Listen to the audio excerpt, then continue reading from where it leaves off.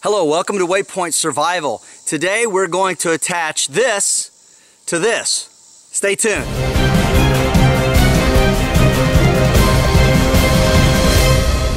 So when it comes to attaching an arrowhead to a piece of wood, an arrow shaft, especially in a primitive uh, survival type situation, there's a few things you can use, of course, to bind it on with.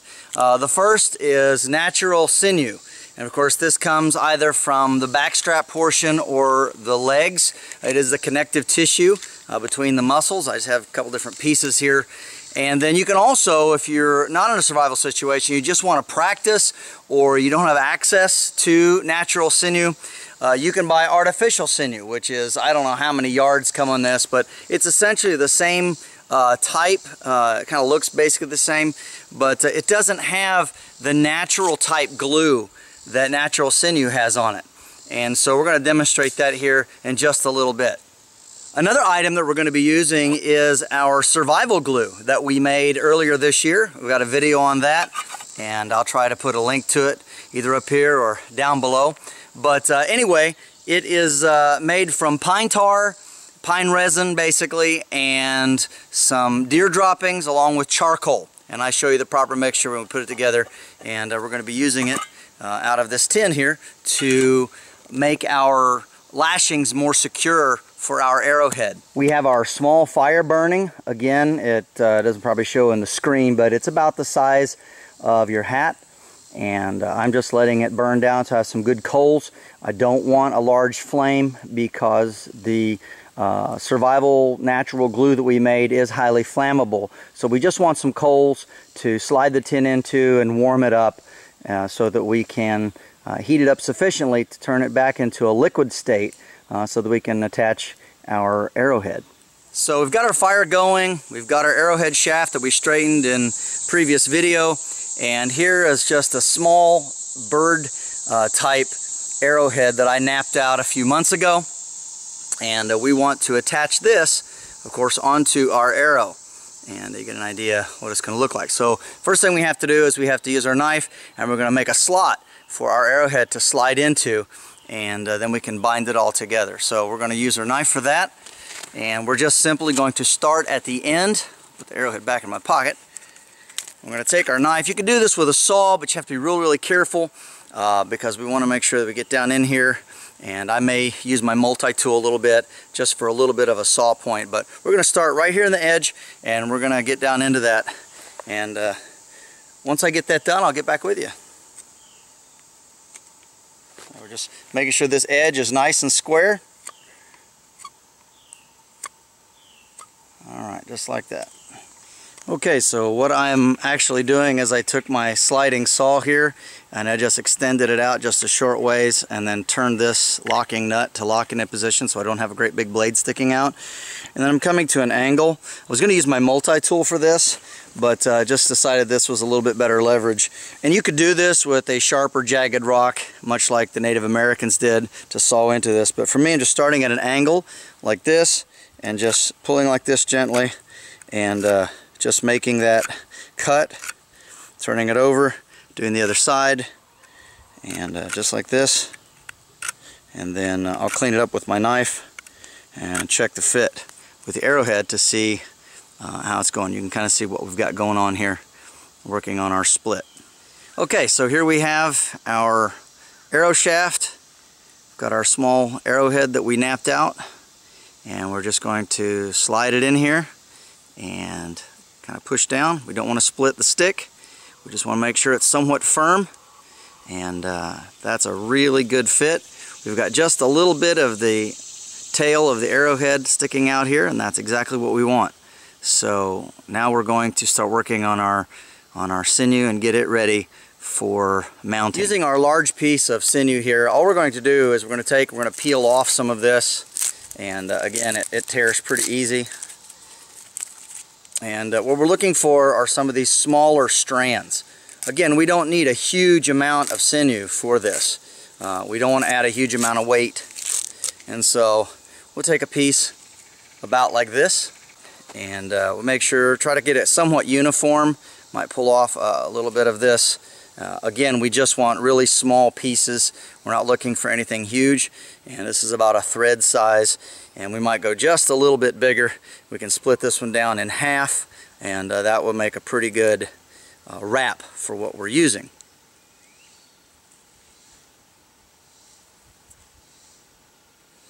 Find where it's naturally split. Just pull that off. Okay. That's pretty good. Right there. All right, now, to prepare this, what you do is you put it in your mouth and you chew it. And your saliva helps to activate the natural adhesives that are found in this sinew. Now, you don't want to over chew it. You don't want to keep your mouth for a long time. Just moisten it up, chew it just a little bit. You're not trying to bite through it. Uh, you just want to moisten it up a little bit. So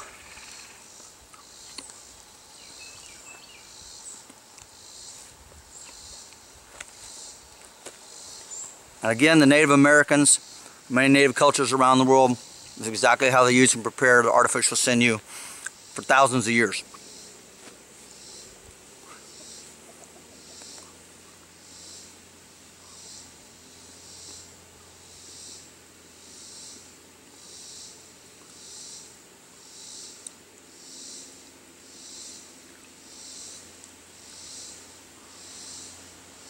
All right. Now we have our, our natural sinew. It's chewed up. And uh, we're going to use this now on our arrow shaft to put our arrowhead on. So we got to kind of pull it out where I got sort of mixed in with our saliva. But here we have a nice wet piece of sinew. So let's, uh, let's get working on that arrowhead. Okay, so coming here to our shaft, we're going to start here on the back side of this and we're just going to wrap it around and uh, kind of keep that tight. Come in like this, a couple of wraps. Want to make sure that's nice and tight. Around this way, I'm going to come this way, around, this way, and around. Wrap that on there. And I'll get back with you when I get this done. Alright, so went ahead and chewed another piece here.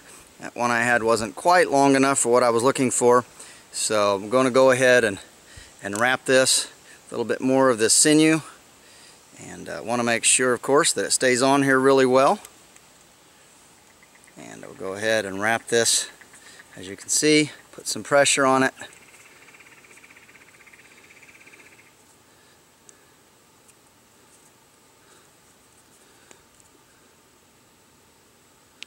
All right. There we go. And uh, we'll let this dry, make sure it's straight on the shaft, and then uh, as soon as that's dried sufficiently, we'll put some of our survival glue on there. Stay tuned. And here we have our tin with our survival glue in it. And it's warming up. You can see it bubbling. A little bit of smoke in the camera. But uh, we're going to get down there and put some of this pine pitch resin glue on our arrowhead and make it more secure. So the process is actually quite simple. And all we have to do is we take some of this liquid here and then we smear it onto the sinew and a little bit onto the arrow itself. Just like this. Alright, so we're just taking this and we're putting it on here and letting it harden up. We're smearing it all the way around. We'll do that to the whole arrow. I'll get back with you and show you the next step.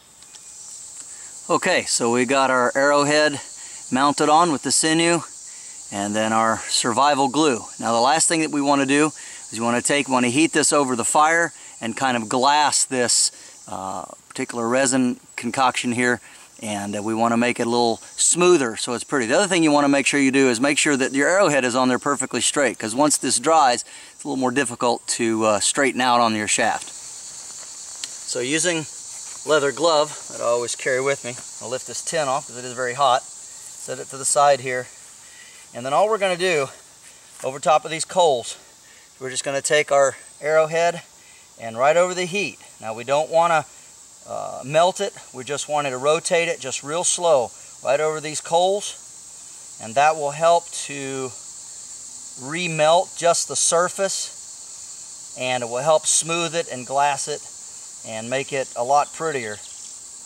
Not that we're ex extremely concerned about beauty here, but we want it to look nice. Most of all, we want it to fly right and stay on good when we shoot it. And that will also help protect the sinew from getting wet if you're ever in a, a rain situation.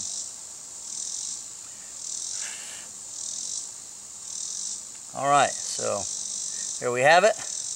And you can see it's uh, quite pretty. Looks really nice. And here we have our finished arrowhead along with the glue that we put it on and the sinew and uh, turned out pretty good.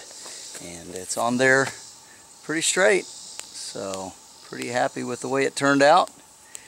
And the next project we're going to be doing is we got to put the fletching on here so that we can have a an actual arrow. One other thing you can do in survival if you're traveling around and you don't have a tin to carry your pitch glue, your pitch pine glue in, uh, you can actually just put some around a stick like this and carry that with you in your kit and that will work really well. You can wrap it up in a, a, leaf, a green leaf, or perhaps some leather, a piece of cloth, anything that won't really stick to that, of course, eventually. If it does get too hot, it will stick to it. Generally, if you keep it cool, uh, it gets nice and hard, and uh, just like a, a, glue. But remember, it is activated by heat, makes it liquid, so you have to keep it from uh, being close to your fire and such like that. But that's a nice little tip. Just take a stick, carry it with you, and uh, wrap it. And you, you could, of course, put it in a Ziploc bag. Anything, like I said, that won't uh, stick to it and uh, put a bunch of debris and matter in it. So you would only want to use a green leaf. When the leaf dried out, we'd want to swap it out for another one because you wouldn't want a bunch of crumbly leaves in your kit. But just sort of a field expedient way to carry around your pitch pine. This is James Bender for Waypoint Survival. Please like, share, and subscribe. And make sure and press that bell button to stay notified of all of our upcoming videos, and we'll talk to you next time.